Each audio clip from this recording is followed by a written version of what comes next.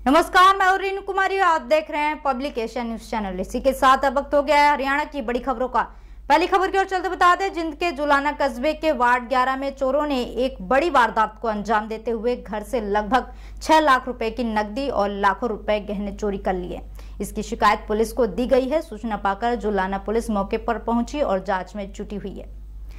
और अगली खबर की ओर चलते बता दें नैलो प्रदेश अध्यक्ष रहे नफे सिंह राठी और उनके समर्थक जय किशन दलाल हत्याकांड मामले की गुत्थी सुलझने, सुलझाने में जुटी सीबीआई की टीम पाँच दिन में दूसरी बार बहादुरगढ़ पहुँची। टीम ने लाइन पार थाना में खड़ी नफे सिंह राठी की फॉर्चुनर गाड़ी की जाँच की, आरोपियों की आई ट्वेंटी गाड़ी की भी छानबीन की। इस दौरान उनके साथ लाइन पार थाना एसएचओ संदीप कुमार भी रहे। टीम ने करीब एक घंटे तक जाँच पड़ताल की, इसके बाद वापस लौट गई।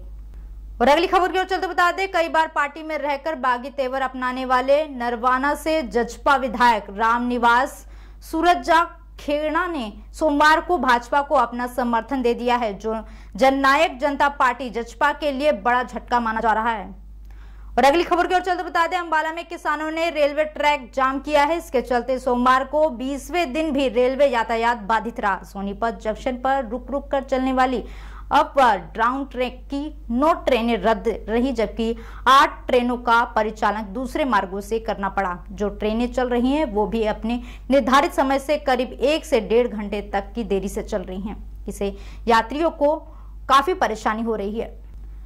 और अगली खबर की ओर चलते बता दें, पंजाब, हरियाणा और चंडीगढ़ बार काउंसिल ने the certificate and place of practice verification rules 2015 के अंतर्गत प्रशासनिक समिति हरियाणा का गठन किया था। संस्था ने रजिस्टर अधिवक्ताओं के शैक्षणिक प्रमाण पत्रों का सत्यापन किया।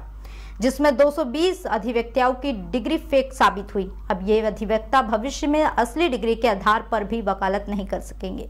जिन अधिवक्ताओं की डिग्री फर्जी पाई गई है, उनको व्यक्तिगत रूप से नोटिस देकर सुनवाई के लिए बुलाया गया, लेकिन अधिकतर तथा कथित अधिवक्ता समिति के सामने पेश नहीं हुए। कुछ ने समिति को सिफारिश करते हुए पंजीकरण सूची से नाम हटाने का आग्रह किया है।